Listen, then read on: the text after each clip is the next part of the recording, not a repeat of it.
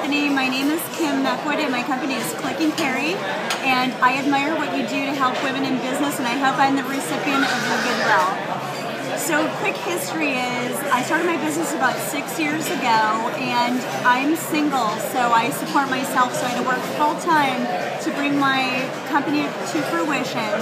And I would work hard in the day and then do Click and Carry at night. And fast forward to last January, February, and March, I became very ill and it turned out I had breast cancer.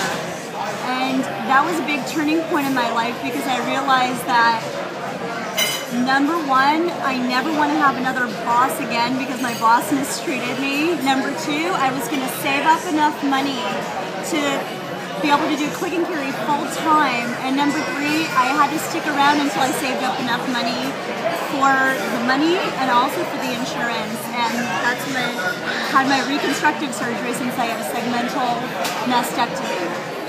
So since January, I've been doing click and carry full time. It's becoming successful. I'm starting to make forward movements. In fact, I was just in Arkansas to pitch to Walmart and they really like my product. So I'm hoping that to get on your show that I'll I'll get your great advice and make and Carry the success it needs to be.